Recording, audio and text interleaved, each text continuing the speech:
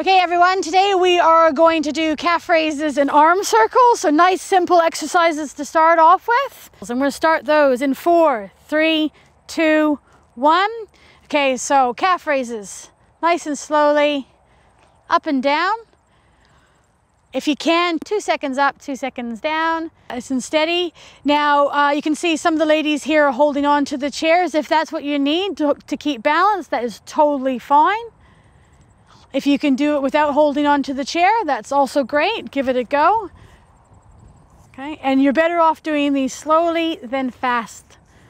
More bang for your buck. Nice job. Okay, we're done in four, three, two, one. And now you get a 20 second break. Shake out the legs. And we'll prepare and talk about the arm circles. The most important thing is straight out from your shoulders. And three, two, one, and we just go forward with the circles. Start nice and small. Yep, that's it. And probably the most important thing here is just to keep them straight out from the shoulders. Don't drop them, don't raise them high. As you get comfortable doing those, try and make them a little bit bigger. And you will note as you add weight, those bigger ones will get harder. Okay, great job, ladies. That's awesome. Nice, once again, nice and slow. More bang for your buck by going slow than fast. Okay, in eight, seven, six, five, four, three, two, one, and you can have a break. Same thing, shake the shoulders out. Okay. Okay, and so we're just gonna go through those two exercises again nice and simple.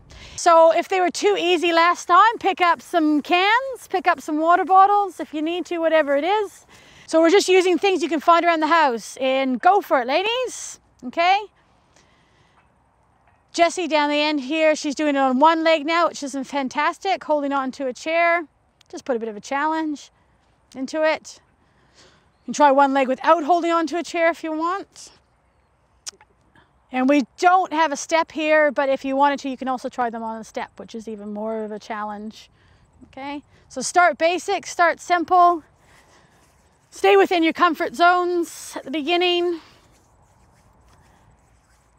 That's it, nice and slowly. Two seconds up, two seconds down. Okay, we're almost finished. Seven, six, five, four, three, two, one. Same thing, take a break. Okay, and if your arm circles were too easy last time without any weight, make it a bit more of a challenge. And just like last time, the most important thing, straight out from the shoulders. Try not to let them drop. And go for it, ladies. Okay, and go backwards, yep. That's it. Nice and slow. Start small, and once you're comfortable with that, make them bigger. Now the great thing about the water bottles is that you can put as much water as you want into them. So there's no need to go out and buy any fancy equipment at all. That's great, good job ladies. And we got almost done here. Four, three, two, one. That's it. Okay, give those shoulders a shake. That's it. Done for the day. Well, thank you.